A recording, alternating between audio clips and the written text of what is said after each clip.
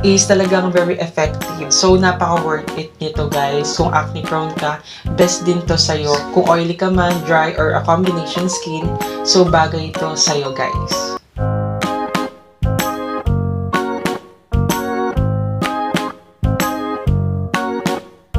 Hello guys! So welcome back to my channel. So for today's video guys, ay ituturo ko at i-share ko sa inyo yung updated skincare ko ngayon. So if you are curious and interested on what are the results and how to use this product that I will mention later, please keep on watching. So, ginamit kong product na ito, guys, is more than a week na. So, this is Fresh Skin Lab. So, ayan, guys, nakikita nyo is K-Beauty Be Confident Be Fresh. So, ayan siya guys. So, syempre guys, nilagay ko lang ulit siya dito guys for the sake of this vlog.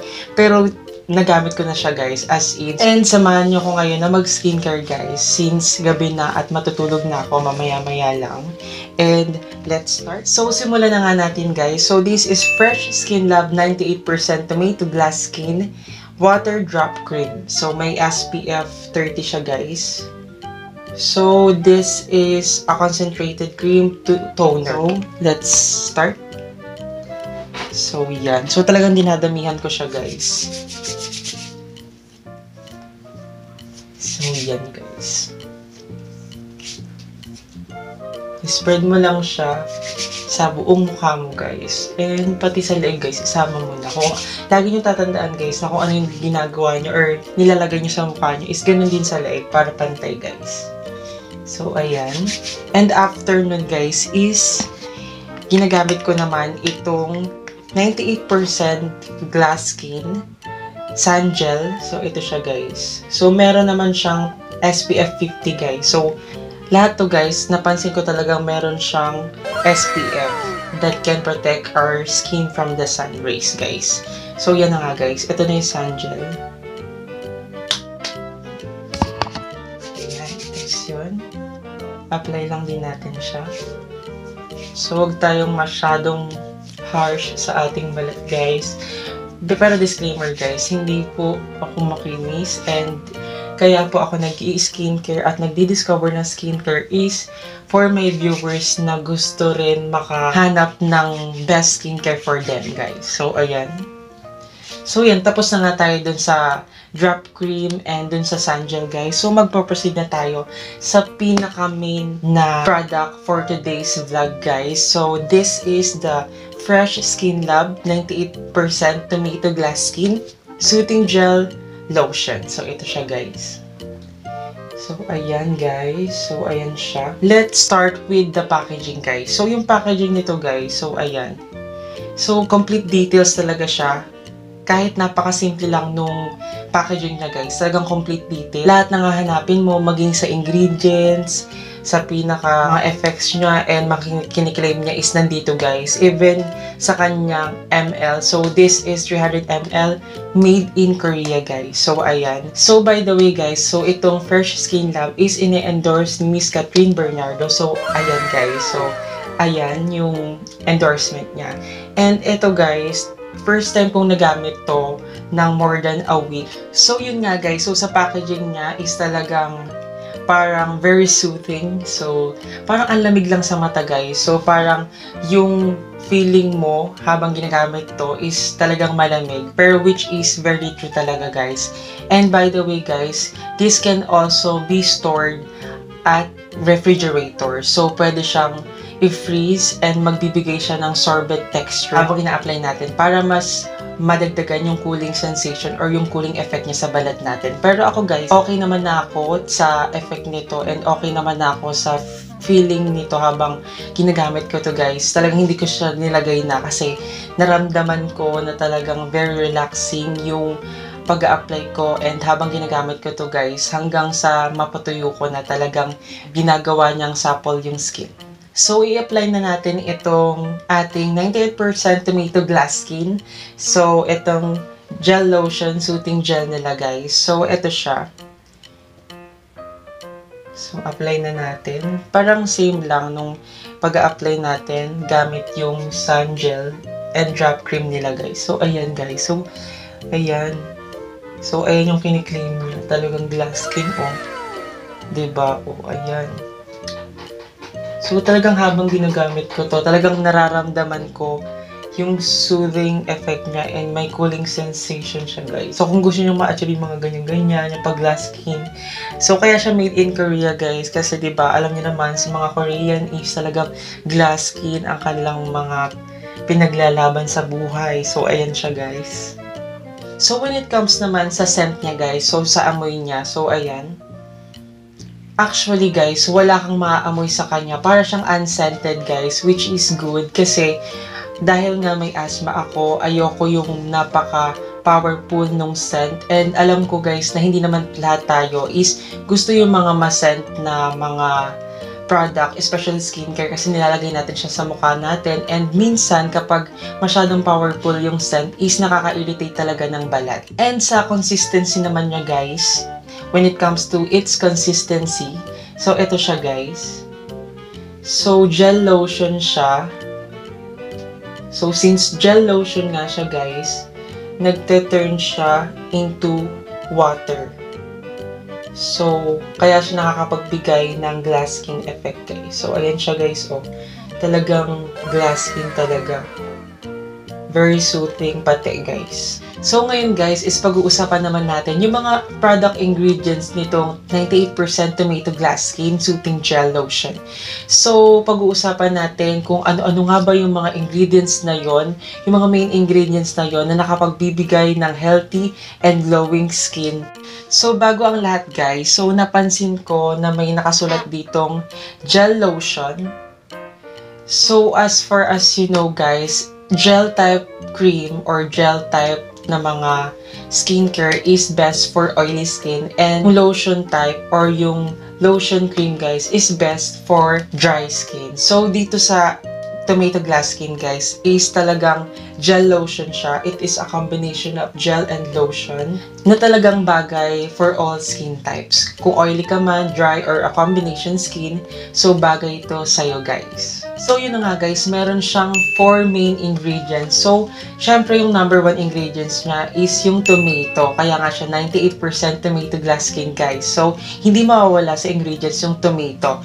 So, yung tomato guys, is an antioxidant. So when we say antioxidant guys, so it protects our skin from free radicals guys. So kapag antioxidant, an example nun is yung vitamin C, vitamin A, E, and lahat ng mga vitamins na nakakatulong sa balat natin para mas maging healthy. And yung second one naman na ingredients nito is yung hyaluronic acid. So yung hyaluronic acid guys is ayun yung ingredients na first kong nalaman simula yung nireview ko yung Fresh Skin Lab Mist nila. So may hyaluronic acid yon na ayun pala ay isang humectant. When we say humectant guys, it gives and produce moisture sa balat natin guys. So kaya nagiging mas moisturizing yung mga product or mga skincare ng Fresh Skin Lab is because of the hyaluronic acid. So yung third one naman guys is yung shea butter. So yung shea butter naman is emollient. So when we say emollient guys, it is softening and moisturizing to our skin. So, yung shea butter yung nagpapalambot lalo sa skin natin, guys. And lastly, guys, yung vitamin C na tumutulong para i-keep yung skin natin sa pagiging healthy, guys. So, ayun yung part or yung ginagawa ni vitamin C. So, kapag pinagsama-sama mo lahat ng yon so, ayan siya. So, talagang magiging glass skin ka talaga, guys. So, pag-usapan naman natin guys, yung mga product claim nitong ating 98% tomato glass skin. So, yung isa sa mga product claim niya is, it is best for all skin types, which is true guys, kasi as I've said a while ago, is talagang gel and lotion type siya, which is very good sa oily skin and dry skin, and even in combination skin types guys. And of course, ang kiniklaim din niya is light on the skin, which is true also kasi habang ina-apply ko siya and habang nandito na siya, in-apply ko na talaga siya guys, is talagang parang wala lang. Alam mo yung parang naghilamos ka lang at nagbanlaw, tapos yun pala, may skincare ka na guys. So ayun yung epekto niya. Talagang walang bigat na mararamdaman. Talagang light on the skin lang talaga guys. And napansin ko sa product na to, even though lotion din siya guys, is hindi siya sticky sa balat or hindi siya talaga malagkit guys as in And alam nyo rin ba guys na nakakapag-brighten to ng balat natin guys. So, habang ina-apply mo siya, so nagpa-process dyan yung brightening effect niya and also tinatighten din niya yung pores natin. Which is, ayun yung pinagmumulan ng mga pimples natin kapag talagang naiipon sa pores natin yung mga dumi guys. So, nakakapagpa-tighten siya para hindi na maipon yung dirt sa skin natin. And itong malupit guys, It also treats sunburn. So, kung may sunburn ka man, lalo na sa mga nagtatrabaho outdoor, so, best talaga to para ma-treat yung cells natin and para rin naman maprotektahan from free radicals, guys. At nire-reduce din ito yung mga irritation sa balat mo kung masyadong allergic yung balat mo sa mga ina-apply mo, kung hindi kahiyang, ito guys, talagang masasabi kong it is best for all skin types. So, kung masyado ka talagang mapimples, kung acne prone ka, best din to sa'yo. Hindi talaga may irritate yung balat mo. So, habang ginagamit ko to guys, napansin ko rin na hindi ako nagkaroon ng kahit isang pimples, whiteheads, or blackheads man guys. And masasabi kong best din to sa mga acne prone dahil pinapatuyo nito yung acne guys. Talagang totoo, pinapatuyo niya yung acne natin hanggang sa malighten ito. So ito guys, dati napaka-itim na, napaka-dark na. Acne marks yan guys. So ngayon guys, mas na-lessen yung pagka-dark niya. Talagang nag-lighten siya. Gumagana, sa tingin ko gumagana yung brightening effect nitong 98% tomato glass skin guys from Fresh Skin Lab. So, magkano nga ba itong 98% tomato glass skin na ito guys, na 300 ml. So, napaka-worth it nito guys. Napaka-affordable ng price. So, it is only 249 pesos. Meron ka ng isang gantong kalaking skincare guys. So, napakasulit talaga guys. So, ilalagay ko na lang sa description box guys kung saan niyo siya mabibili. Meron to sa Watson's online and also sa mga physical stores or branches ng Watson's. And so far guys, itong package na to, yung isa sa pinaka the best skincare so far na nagamit ko at na-review ko sa channel kong to guys. So, maganda rin itong 98% tomato glass skin water drop cream nila guys. So, ayan siya ulit. So, may kiniklaim siyang lycopene concentrated cream to toner for a luminous white glow. So, isa sa mga tumutulong para magbigay ng glowing skin is itong water drop cream na to guys. So, ayan siya guys. So, napaka-effective din nito sa tingin ko guys. And itong isa nilang sun gel, ayan siya. So, sinasabi niya dito is with hyaluronic acid din, guys. So, ayun nga, nagbibigay siya ng moisture sa balat natin. So, napaka-moisturizing naman itong set na to ng Fresh Skin Lab, guys. So, nakasulat dito is fast-absorbing and lightweight moisturizing gel with superior sun protection for face and body. So, hindi lang siya basta-basta skincare, guys. So, meron din siyang SPF 50 and ito namang cream natin, drop cream, is may SPF 30. So, pag ginamit mo to both with this Fresh Skin Lab 98% Glass Skin Soothing Gel Cream, guys, is talagang worth it, guys. At talagang mapaprotektan yung balat natin from the sun.